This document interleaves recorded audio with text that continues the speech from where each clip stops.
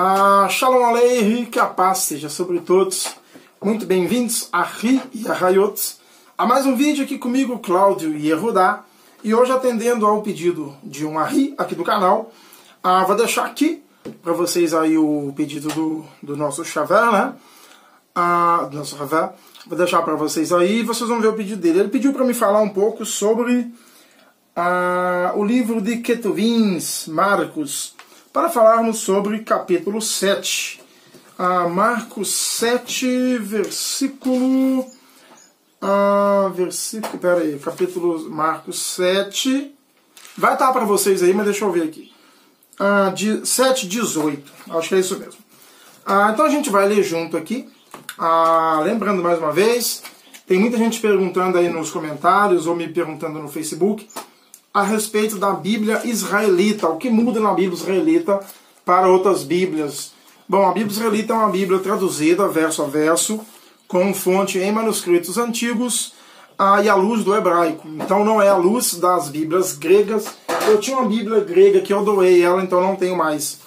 A única Bíblia grega que eu tenho é uma Bíblia antiga, muito antiga, que eu ganhei de uma pessoa, que a pessoa não é importante, mas a, a Bíblia marcou uma época na minha vida então eu tenho ela como eu tenho ela como uma, como uma lembrança boa. Então ela vai ficar guardadinha lá. Mas eu não tenho usado mais, eu só uso a israelita. A israelita ela é traduzida de verso a verso, ela mantém nomes originais, aqui ó, Ketuvim, Talmidim, né? Discípulos, né? Marcos.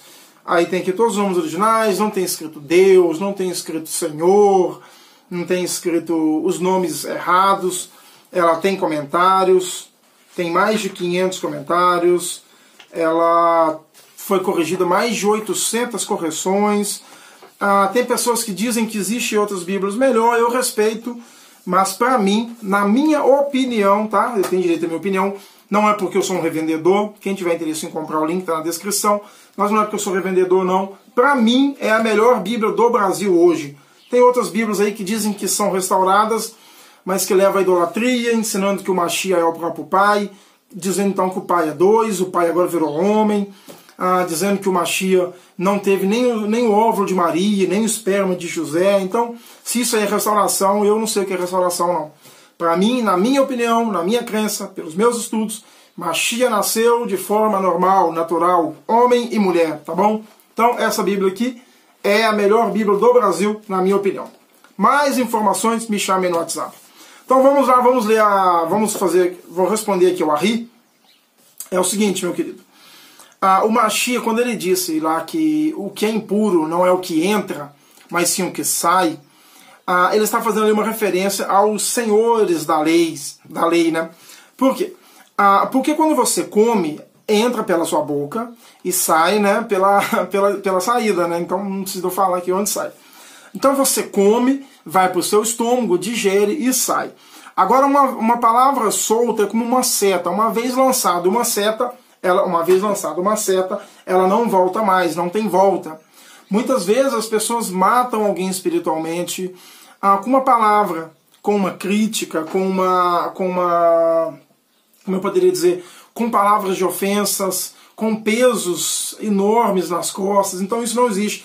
Isso é o que contamina, porque isso vai no coração e a comida vai para o estômago e ela sai. Mas ali o Machi não estava se referindo a comidas impuras. Tanto que ele não citou a comida, ele não estava se referindo, por exemplo, a porco. Tem muita gente dizer que o Machia liberou comer porco. Não, onde está isso? Não existe isso. Aqueles senhores da lei, eles colocavam fardos pesados sobre as pessoas. Eles esqueceram a lei do Eterno, não lei, a instrução do Eterno, que é a Torá, tá? esqueceram a instrução do Eterno e começaram a viver instruções de homens. Esqueceram a palavra do Eterno e começaram a viver palavras de homens. Então o que saía da boca deles contaminava mais do que entrava, mais do que o que entrava pela boca. Porque o que entra pela boca sai. E a palavra lançada uma vez não volta mais. Então foi isso que o Machia diz. Impuro é o que sai pela boca, porque as palavras são como uma seta. Uma vez lançada, não volta mais. Já a comida, ela entra e sai. Mas ali o Machia não se referia a comida impura. O texto não se refere a alimentos impuros. Eu vou ler o texto com vocês inteiro, que é para vocês entenderem. O vídeo está com 4 minutos, não vai ser tão longo, Teve uma Ravé que comentou aí que eu enrolo muito nos vídeos. Eu peço que me perdoe, mas não tem como ah, fazer um vídeo da palavra do Eterno que seja dois, três minutos. Ainda mais eu que falo demais. Tem, aqui tem sangue italiano, tem sangue judeu, então é difícil não falar muito. tem, ainda mais judeu você fala demais. Mas vamos lá. Peguem a Bíblia de vocês aí, Marcos. Ah, e só para lembrar que quem tiver interesse em comprar a Bíblia, 125 reais, já com o frete para todo o Brasil e ganha este livro aqui de brinde. Ah, o livro está lá dentro. E para quem não tem condições, para quem está sem dinheiro, existe o um aplicativo gratuito. Só procurar na Play Store Bíblia Israelita. O aplicativo é de graça para quem não tem condições de comprar, tá bom? Então vamos embora. Pega a Bíblia de vocês aí, Marcos capítulo 7. Vamos lá. É, foram ter com Yeshua os parushim e alguns dos escribas vindos de Jerusalém, Jerusalém. Ah, e repararam que alguns dos seus tamidins comiam pão com as mãos impuras, isto é, por lavar. Então vieram ali, né, algum, é, vieram ter com Yeshua alguns purins, alguns escribas, né, os senhores da lei, vindo de Jerusalém, e repararam que alguns dos seus tomidins e alguns dos seus discípulos ah, comiam pão com as mãos impuras. Impuras aqui não é alimento impuro. Aqui mesmo diz, olha, impura. Isto é, por lavar, sem lavar as mãos, com a mão suja, né? Ah, por isso os, os e todos os Yehudim, né, todos os judeus, guardam a tradição dos ah, longevos, do que? Dos antigos, né? Tradição dos antigos, a tradição dos longevos. Não comem sem lavar as mãos cuidadosamente. E quando voltam do mercado, se não se purificam, não comem. E muitas coisas que recebem para observar como lavar a mão, a lavagem do corpo, de jarros, de vasos de bronze e de carnas. Ah, e, é, e perguntaram-lhe os parushim e os escribas, por que que não anda os teus tamedim conforme a tradição dos longevos, mas comem pão com as mãos por lavar? Vamos parar até aqui. Ah, então ali a gente viu que os, os senhores da lei vieram e perguntaram para ele por que, que os seus tomidins comiam com as mãos impuras, ou é, sem lavar. E aí disse, e esses, né, os longevos, não comiam nada sem usar, sem obedecer à tradição dos antigos, não comiam nada sem se purificar, sem se lavar, sem lavar os vasos.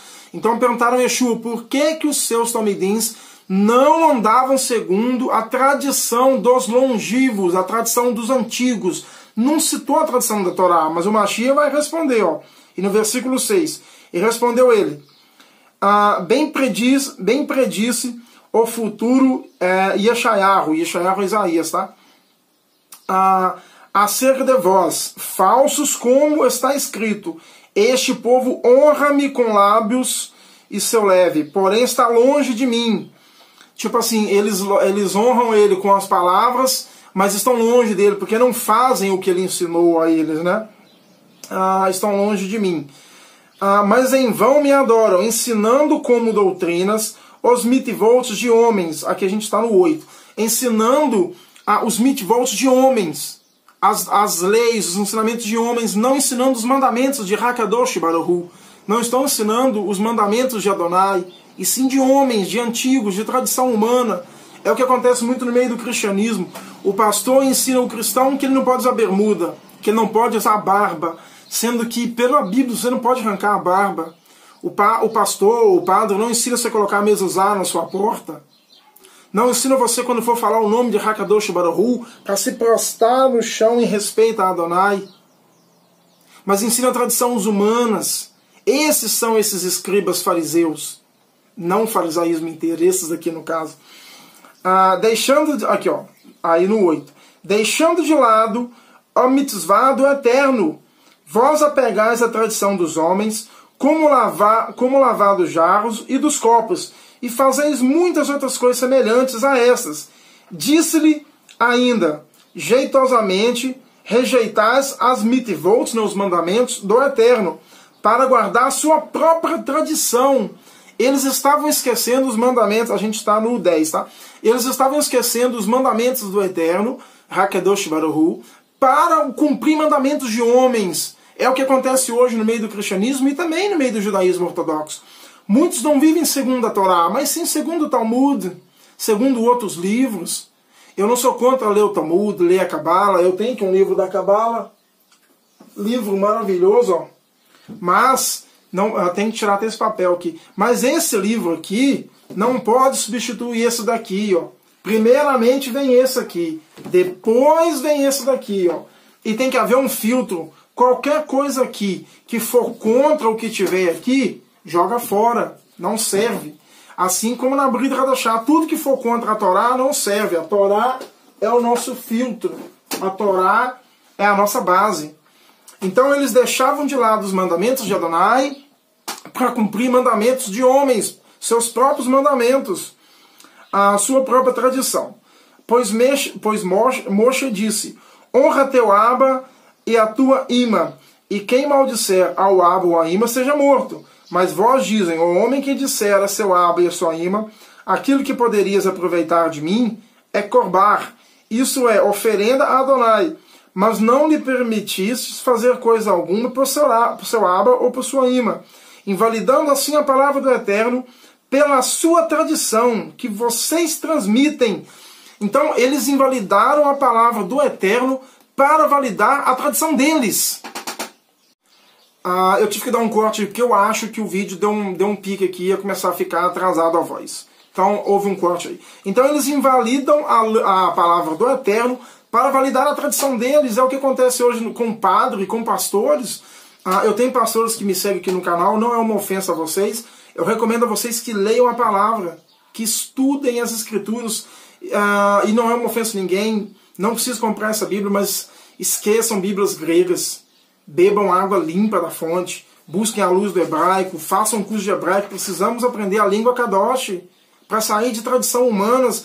Esses homens aqui, eles abandonaram a lei do Eterno para ficar com lei de homens, a leis deles mesmos. Então a gente vai continuar aqui, só para chegar até onde o irmão queria. Ah, semelhante fareis. E chamando assim outra vez a multidão, e disse: Ouve-me, vós todos, e entendeis Nada há fora do homem que, entrando nele, possa contaminá-lo, mas o que sai do homem, isso é o que contamina. Depois deixou a multidão, entrou na casa seus tamidins e interrogou-se da ilustração. E respondeu ele: Assim vós também não entendestes? Não compreendeis que tudo que de fora entra no homem não pode contaminar? Porque ele entra no leve, né, no, no coração. Mas no, não entra no leve, não entra no coração, mas sim no ventre, e é lançado fora purificando todos os alimentos. Ah, então aqui ele não estava referindo a comidas ah, impuras, né?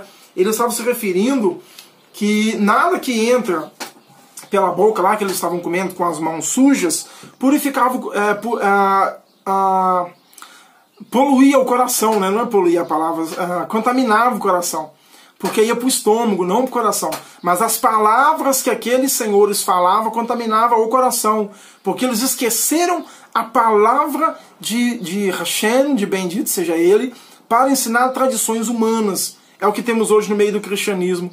Pessoas que esquecem a Torá, que esquecem os mitvotes, para se pegar a tradição, a tradições humanas, como uso de bermuda, como uso de maquiagem, e cada coisa desse tipo. Eu já fiz um vídeo aqui no canal falando sobre isso. Então as pessoas elas esquecem a palavra do Eterno para se pegar a tradições humanas. Foi isso que Yeshua tanto combateu, tanto bateu nisso. Mas eu espero que o Ari tenha entendido aí, tá bom? O Machia não se referia a comidas impuras, e sim a lavar as mãos, porque eles não ensinavam mais a palavra, ensinavam tradições humanas, tá bom? Vão, vou ficar por aqui. Fiquem todos na Shalom. Que o Kadosh seja sobre a sua vida e que coisas boas venham acontecer. Não lembre de ajudar o próximo. Não se esqueça de ajudar o próximo. Da cara é um mandamento. Um dos mais importantes, ajudar as viúvas necessitadas, visitar os doentes e cumprir os mitzvot. Fiquem na Shalom, que o Kadosh seja sobre a sua vida. Peço você que me assistiu até o final, compartilhe esse vídeo no grupo de WhatsApp, compartilhe no Facebook e nas mídias sociais, para que mais pessoas tenham acesso a essa palavra, tá bom? Shalom, shalom, forte abraço. É, até a próxima, se assim Adonai permitir.